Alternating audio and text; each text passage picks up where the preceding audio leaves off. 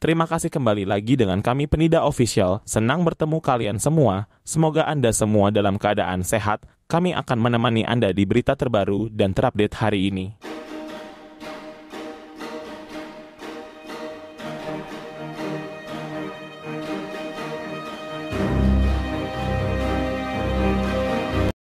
Fajar Laksono, juru bicara Mahkamah Konstitusi dalam kurung MK menegaskan bahwa putusan sidang sengketa Pilpres 2024 tetap akan diumumkan pada 22 April mendatang. Hakim Mahkamah Konstitusi terus menggelar rapat permusyawaratan hakim dalam kurung RPH sejak sidang pembuktian selesai. Meskipun ada pembahasan mengenai perkara PHPU Pileg yang beriringan, namun agenda terkait sengketa Pilpres juga tetap dilaksanakan.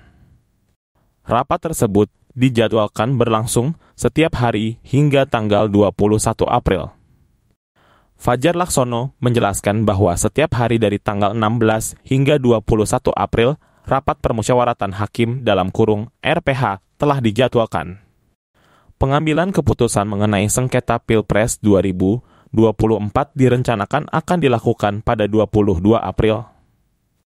Persidangan dijadwalkan dimulai pukul 10.00 waktu Indonesia Barat pada hari tersebut. Fajar menjelaskan bahwa hingga saat ini, pengumuman putusan tetap dijadwalkan pada tanggal 22 April tanpa ada perubahan. Persidangan dijadwalkan pada pukul 10.00 waktu Indonesia Barat. Namun, para pihak akan dipanggil secara resmi oleh Mahkamah Konstitusi tiga hari sebelumnya untuk konfirmasi yang lebih pasti.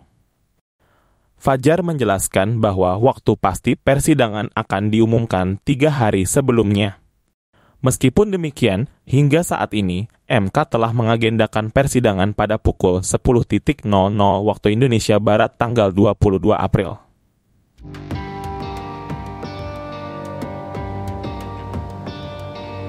Demikianlah berita kali ini. Kami dari Penida Official mohon undur diri dari hadapan Anda. Terima kasih dan semoga bermanfaat untuk Anda. Sampai jumpa pada berita selanjutnya.